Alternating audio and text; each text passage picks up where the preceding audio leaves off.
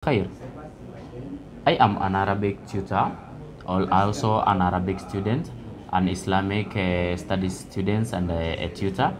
I am doing my degree in Arabic, so I have thought of opening an, a YouTube channel.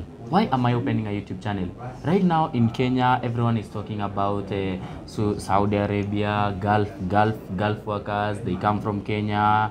When they go there, how they are being treated and everything. So I thought, eh, what about why are these people why are they do they get those trouble?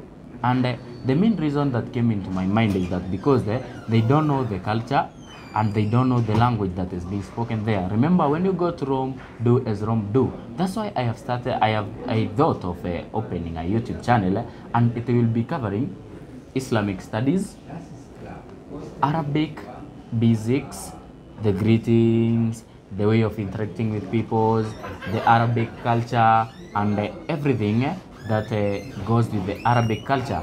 Then the next thing that uh, will be found in the YouTube channel, uh, it will be it will be talking about lifestyles.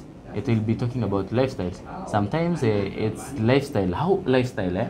The way you're supposed to live with people, because I myself am a consultant the way you're supposed to live with people, your wife, your children. Because right now in our 21st century, remember the way we are living with our children, with our parents, with everyone is totally, totally, totally different with the way or with like uh, the way it's supposed or the way we are supposed to live with them.